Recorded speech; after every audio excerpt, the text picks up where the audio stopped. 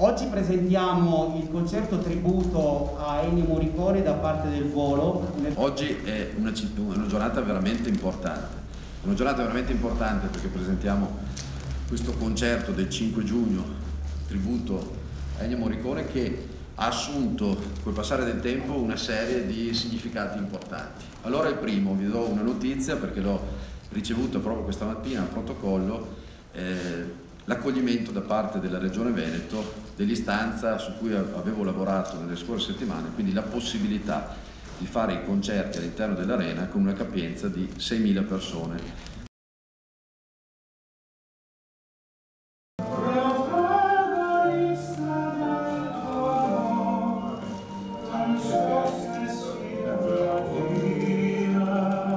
Stiamo vicino a trovare il volo, tributo a Ennio Morricone prossimamente. Rai Ringraziamo veramente tutti voi per averci dato questa meravigliosa opportunità che anche come dicevamo è un messaggio di speranza e siamo onorati di poter rappresentare insomma, questa, questa rinascita in qualche modo.